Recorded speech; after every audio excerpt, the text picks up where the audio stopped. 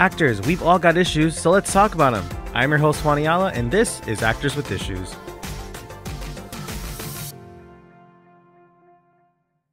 Hello, ladies, gents, and non-binary friends. Welcome to another episode of Actors with Issues with me, your host Juan Ayala, where we talk uh, shop with guests from TV, film, and Broadway. And joining us today, please welcome to the stage actor Diego Mejia and director and writer Sebastian Rea.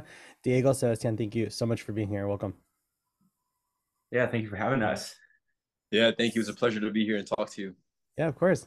So you guys are just a few weeks um, after the fact of your East Coast premiere um, for your short uh, Heritage at the New York Latino Film Festival. So what was the feeling of having it seen on a big screen like that? And I mean, um, now I'm curious because we had just spoken before, but Diego, had you seen it like on a big screen prior to that, or or no? Yeah, so um, I was lucky enough that the same thing lined up. Um, because I'm originally from California and I'm based in New York now. Um, but it lined up perfectly where I was in California at the time where it was going to premiere. So I went down to LA um, and got to see it at LALIFF and got to see everyone who worked on it. Uh, I was there with Sebastian, um, and we got to watch it um, at, at, the festival, which was really amazing. So getting to see it again is always just, you know, exciting. Yeah, it was really incredible because the first uh, premiere we had and in LA, it was actually the 26 minute cut of the film and that was like the first version we made coming out of the program of the inclusion fellowship from LALIFF and netflix. So we screened the 26 minute version and then uh, the program helped me cut it down another 10 minutes because they said it would help get into other festivals and they can program it if it's shorter. So I, I made a 16 minute version and that's the version that premiered in new york.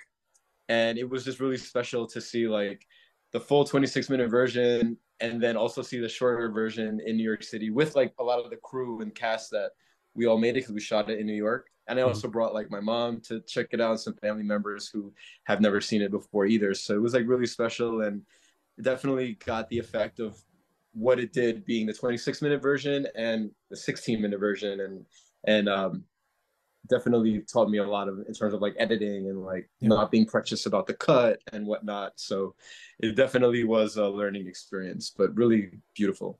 I have to ask, during that editing process, was there like a scene you had to fight for to stay in the cut, or was the, everything that they suggested you take out sort of just like, okay, yeah, that makes sense? Well, actually, um, when I first had the 26 minute cut, one of the biggest scenes that I had to fight for was actually the dancing sequences in the film.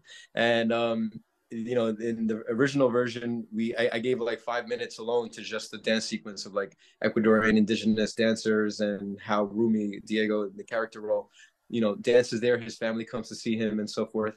And that scene like helped establish the dancing, the culture, but also like Rumi's friends and family and like how they come to support him.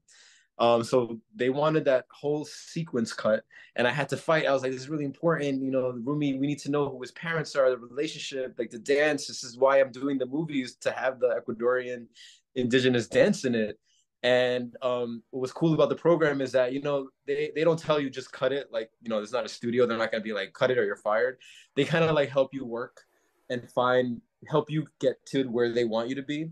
And because technically they were right, you know, like the, the 26 minute version feels and it serves kind of like as a pilot or a proof of concept but the 16 minute version is just a lot tighter and really feels like a tight short film.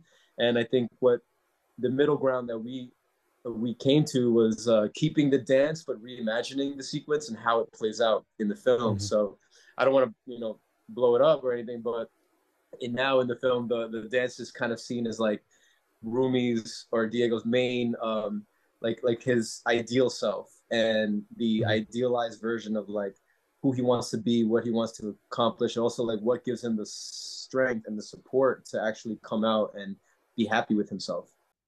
So yeah, we had to fight a lot for that, but it, it made it in and it, it became stronger, I think. Mm-hmm. And in the grand scheme of things, you did mention sort of as a pilot or proof of concept. Is this something you'd want to expand into a series or into a feature? Like what sort of the the ideal future for the for the project?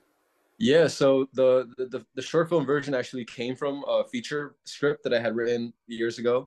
Since since this was um, based on my own coming out story, which happened when I was 18, I had been wanting to tell this story for like 15 years almost. I just didn't know like the right way, or I was also like kind of ashamed to tell it in many ways because I knew this would be very vulnerable for me and putting my identity out there was not I wasn't really comfortable with earlier in my life but as I grew up and came more into like who I am. I I wanted to be more unapologetically who I was and so this was a perfect film uh, for me to tell and the story for me to tell.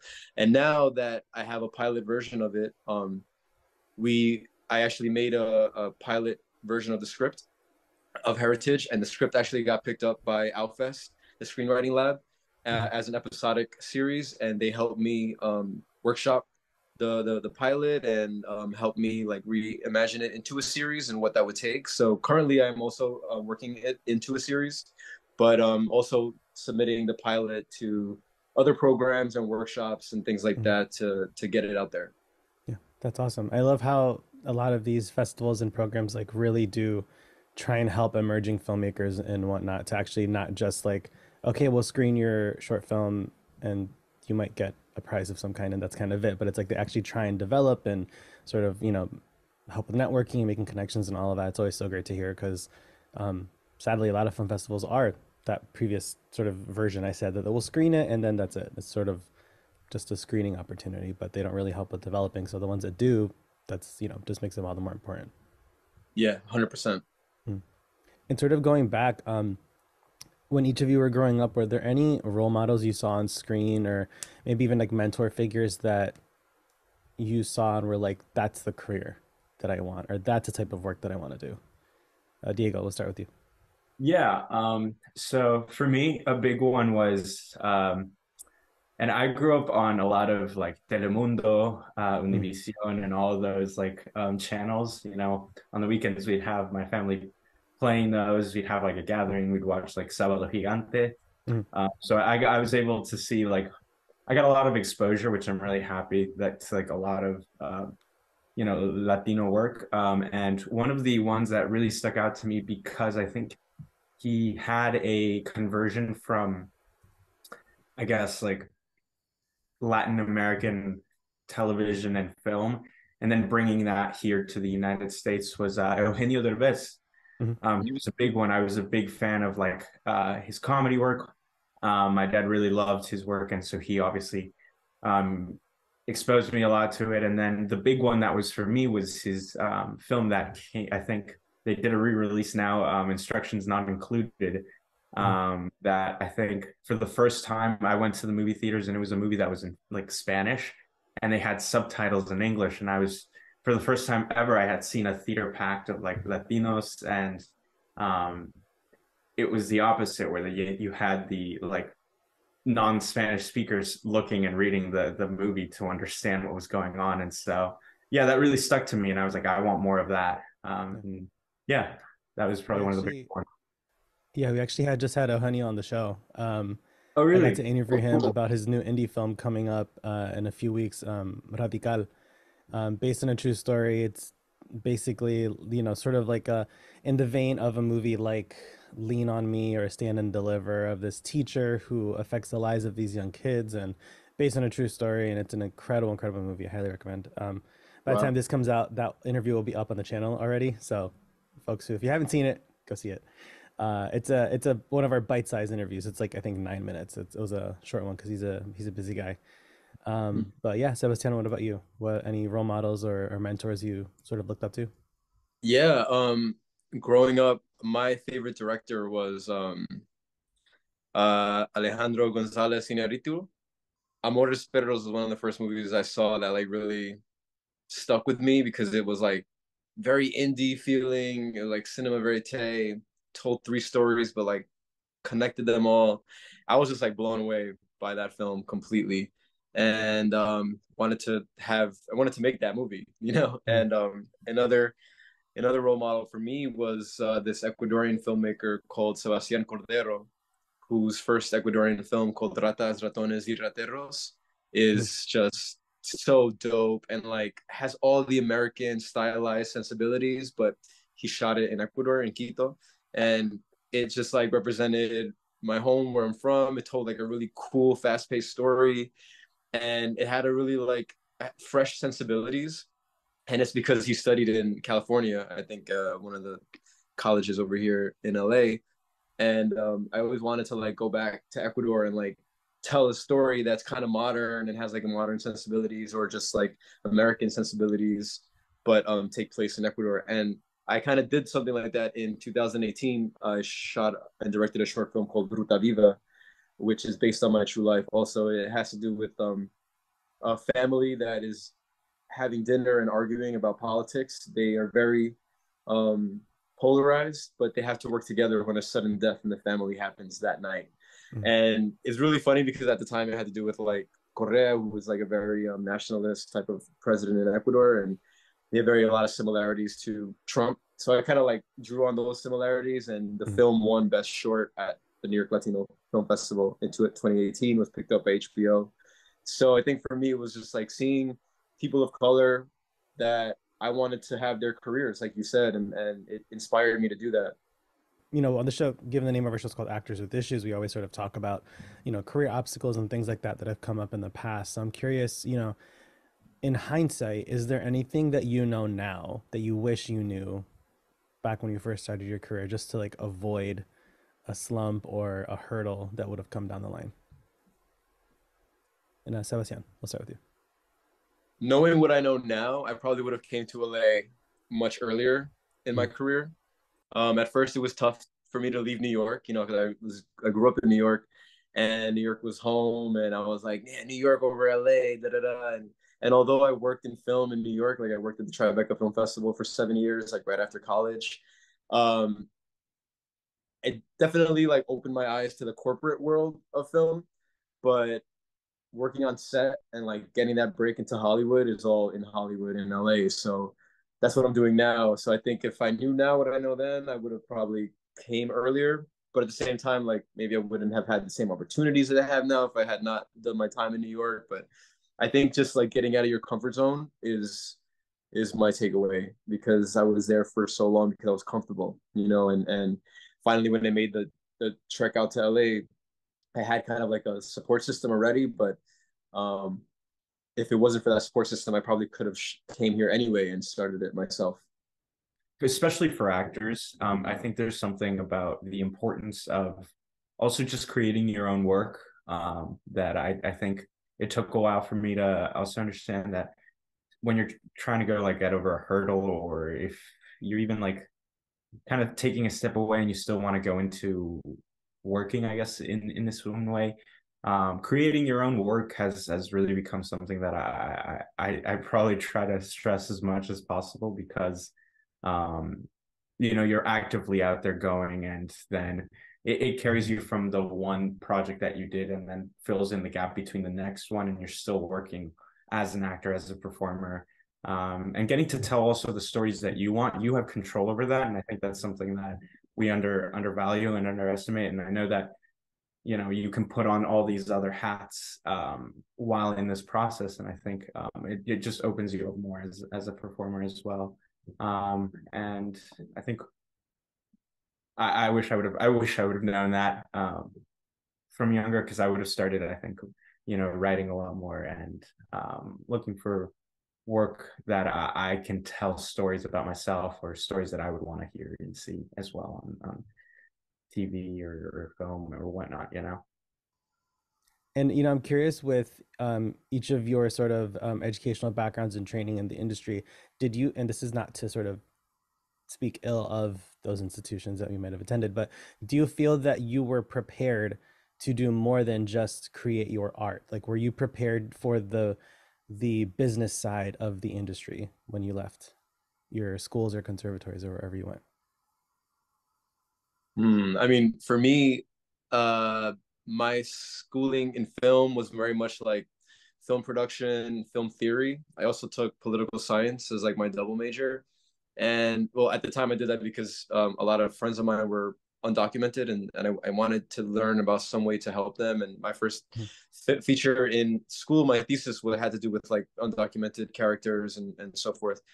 But I think no, the schools don't teach you like the business side. At least for me, they didn't teach me the business side of filmmaking or like the corporate side of it. They there's no like section that taught me like what distribution meant or acquisitions or development. Like I didn't know any of that until I got hired first as an editor at Tribeca, and then like worked my way up to content managing.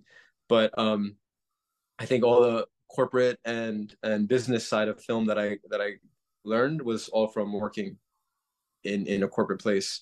Um, if anything, the school just taught me like how to produce a short film with you know some people. Um, but even that, you know, working on your own indie short film for school is different than working on a on a on a real set. You know what I mean? And I think like working on a real set, even if it's just as a PA job or something like that, will that'll teach you everything you need to know. Not just like being in school. Even if you didn't study school, like film in school, you could still be a PA, and you'll learn a lot more just by doing. Back in my sort of first days in New York, I worked a lot as an extra on different shows and, and, and sets that filmed here in New York, and uh, the second second who was always the sort of one in charge of of background actors and placing them and all that would say like hey this is the best film school you're gonna get because you're gonna see how all of the cogs in the machine work together to make the product rather than you know like in a film school it's like okay you've got your instructor and then everyone else is on the same level as you in terms of like usually of like knowledge and all of that. So it's like instead of all learning together you're seeing the professionals at work and can just absorb and all of that. I felt like when i finally booked my first like principal role on a show I like knew all the lingo. I knew what everything meant. I knew what all these like all that stuff was. Um, and you know, I just completely agree. You know, even a young filmmaker should definitely you know pick up some some days on a show as a PA and just see how everything works and just go from there. Yeah, and if anything, I wish like schools had those kind of pipelines. You know, like, right. all right, you guys are all freshmen. and Like, all right, now you're all are going to be PAs on these projects. You know what I mean? Like, just to to get that hands-on experience is invaluable. And Diego, what about you? Yeah, um, I think I'm actually in a different position right now, um, given because I'm actually still in school. Um, mm. I'm on my last year of my, you know, um, training and all that. Um, I will agree. yeah, but um, I will agree that being on set and and going out and getting to do like I also started out probably when I got here, I was really like hungry of like I want to work, I want to do this. So I also did you know background work, um, and yeah, I think I learned a lot more there than I did in my classes at the beginning, um, because I I kind of understood the things that they don't teach you um, in these classes. They'll teach you sure how to perfect and how to make your own method of, of working, but they don't teach you what the work really is like. Um, and so yeah, I think um, uh, once I got out there and was able to do background work, I, I, picked up also on the language of how they talk on sets, where everything is, who's who, and how that works, um, and kind of your role um, when you come in. Um, I think it takes time, and, and by working, you get to learn a lot more. Um, although, and I think this is maybe just for actors, or I got lucky with the school, um, is that we do get training in like how to how to navigate a bit of your career, what it is you want um, within your career, and how you want to, um, you know, manage it, and how to reach out to casting uh, directors, how to talk to agents, managers, um, and you know, uh, it, it is very in traditional sense of having showcases in front to get you in front of representatives and almost get you, you know, started um, as soon as you're done. Um, and I, can only say I've been lucky enough um, to have these experiences um, go hand in hand side to side, you know, and I feel like I've learned so much from that. But I don't think I would have gotten that just from school. Uh, I think this will probably be like our 201st episode or something like that. So it's been a lot of conversations we've had. But so I forget who said this specifically, but um, sort of that they've learned a lot more by doing. Um, I think it was the actor Martin Martinez because he started so young and has just kind of booked pretty consistently since then. Um, he never went the college route. He never went to conservatory. He's like, well, I'm repped and I'm booking, so I don't. It sort of he said it would feel almost like a step back going to school if he was already working. He's like, I'd have to stop working to go do that. So it's sort of making that decision for what works best for you and your current and your trajectory based on where you currently are. Um, but yeah, I think that's such a, you know, no two paths are alike for sure. So it's always interesting to see how people's paths sort of uh, move around differently. Yeah, and just to continue off that, like I think a big thing that, that about us, and I think is that we're very proactive. You know what I mean? Like, um, especially with when I found Diego, he's very proactive in terms of like being an actor and finding the characterization of it and doing the work for it. But I think also a lot of it is like just faking it till you make it. You know, like yeah. like for me, like um, I was very much working in New York City and uh, never really been on like a big Hollywood set before. And then when an opportunity came to work with J Lo on her one of her films, at first I was like, well, you know, I don't know really how, how to be in a Hollywood set. Like, how valuable am I going to be if like I don't know like the lingo or I don't know like this or whatever. But you know, I did have experience shooting my own films, you know, and being on the corporate side of things and and maybe shooting a commercial here or there and although I was a little um, timid and, and worried about like failing, I think you just have to go and do it. You know, like fake it and be like, yeah, I know what I'm doing, even though you don't. But like you're slowly picking up everything along the way. Yeah. And I saw this video one time that I now I never forget it because Salma Hayek said it and she sounded so beautiful saying this. She was like, if you make a mistake, that mistake is yours. You know, own that mistake. Don't let anybody take that mistake from you. Say mm. like how that mistake is gonna help you grow and become a better person, and like you'd only become more valuable because of your mistakes. So I think like that just really rings in my mind all the time now. Like whenever there's a new opportunity, like I'm never shy about it. I, I kind of want to throw myself because I want my career to keep enhancing and, and evolving to the next level. So I think like to anyone who's like scared that they've never been on a set before and they feel like they might be made fun of or whatever, like just own your mistakes. Don't be afraid. And the only person is standing in front of your way to the next level is you. So you just have to fight yourself. And you know, with um, every project or even you know with with a lot of auditions, there's always something to be learned during that process. Um, whether it's you know new material, a new sort of technique you're trying, or um, when it comes to once you've booked the role, you're making a project. Um, there's always something to be learned in that. There's always sort of things that maybe things go wrong and you learn how to remedy that so it doesn't happen again in the future. But what would each of you say was the biggest lesson learned while working on Heritage? Yeah. Um, so for me, um, at the, at this point, I think I, I had only made one other film that had like, I'm going to say like a budget essentially. Um, so um, it was still a bit of a learning process for me. Um, I think I had a bit of experience in terms of like, okay, I know how this works, this works, but now, um, now that I had those preliminary things out of the way, how do I like bring myself and kind of like uh, Sebastian said is, um, you know, um, how do I find this character and how do I like make this the best that I can be, and also kind of being unapologetic about making mistakes along the way and trusting that um, you know everyone around around me will support me in helping me find you know and, and do the best that i can for this. And um, yeah i think this was the first time that i work on a project where i felt very like um secure to explore. Um and i think um that was something very very fascinating and very fun to to get to work on. Um that I, I, going on afterwards. I think I, I, try to apply it to everything that I can, um, and it's it's coming from that security too that you get built from having just a, a great environment to work at too. That thankfully, uh, you know, uh, Sebastian was able to nurture in the set, and um, yeah, it's a very unique experience. Um, that I, I, hope and wish for everyone to, to, to experience at one point because it is really fulfilling as as an actor to to be able to you know just focus on doing your work and and, and acting you know helping tell the story. Um and yeah I, I i hope to get to do that again sometime you know and and mm. put that implement that into my work as much as possible. Yeah that's always sort of a sense of relief when you're like oh this is like a a legit project. There's a whole team. It's not just the writer slash director slash producer slash props manager slash wardrobe yeah. guy slash he picked up the crafty on the way here you know like sort of right.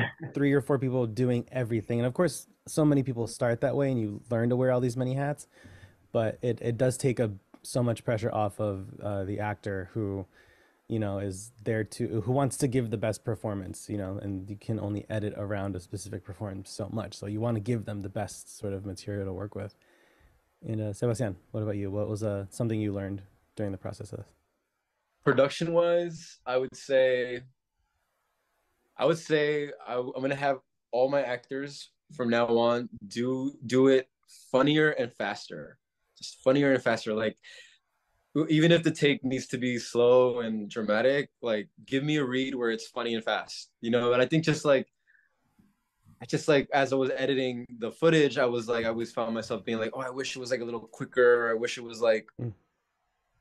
a little funnier, or you know, because like when you're acting on screen or like on camera, it's just the camera picks up little nuances. You know what I mean? And like you don't have to do anything big or anything, but you have to just like it'll just pick it up. I don't know if I'm explaining this right, but like no, yeah. I, I listened to one podcast who was like, I think Spielberg was talking about one of his movies, and he would say he would just tell his actors always like faster and funnier, faster and funnier, faster and funnier, and like not not even if it just warranted that in the scene, but it was just like help the actor come out of whatever bullshit he has in his head that he thinks yeah. what should be the character, you know, instead of just like being. And I, I, I feel like that might help. So I'm gonna like implement that in the future. And the other thing is when you get money for from a grant to make a film or a production, save at least 10% of that money for your taxes at the end of the year. That's a that's a tip that I'm gonna carry for forever. Yeah. Uh, as we you know wrap up our, our conversation, if um, you could go back and give yourself one piece of advice, what would you say? I would say for me, I would just tell myself not to be afraid, you know, because I think uh, me wanting to tell this story of my coming out heritage for 15 years, you know, I put it off and I, I made other films before I made that film because I wasn't ready. And I think a lot of that was because I was operating in fear of like what others would think of me, what even the industry would think of me as like uh, I didn't want to be a queer director or like a Latino director. I just wanted to like make films. But I think when you champion your differences and you really like champion things that set you apart, um, really beautiful things come from that, and you will start to resonate your truth. You know, like when you're really who you are, you polar you're polarizing. Because if you're 100% authentic, not everybody's gonna love you or vibe with you, right? But if you're like kind of quiet and like you know you want to be friends with everybody uh, there a little part of that comes off as fake because you're not like being your true self because you kind of want to be on on good terms with everybody that's like holding you back and i think that's mm-hmm. what i that's what i used to do um but now what i would tell myself is just like don't be afraid for all the people you lose you will gain 10 better ones yeah i guess for me um i would say not to I'm an overthinker. Um, I would say don't stress about the nose. I think if, if that makes sense. Um, at least for me, you know, in, in, my career, I've I've been someone who who always tries to do the best and like get get like I think about it logically. Okay, this is how I'm going to do this, and this this, and this is how I'm going to get there. And um, it, it took me a while to understand. I think now that you know that that that isn't exactly how this um, this industry works in this career, and that if you do this, this, this, you're going to get that. And I think don't be discouraged by that because um, it, it gets in the way, and, and you should be where you are, um, and um, kind of accepting that, taking everything that you you you you are and you you have with you, and relying on friends and everyone to to be able to you know propel that and and um, use that for yourself um, i think it, it's easy to get caught up in in how like you know how a lot this industry can be sometimes and um, mm-hmm.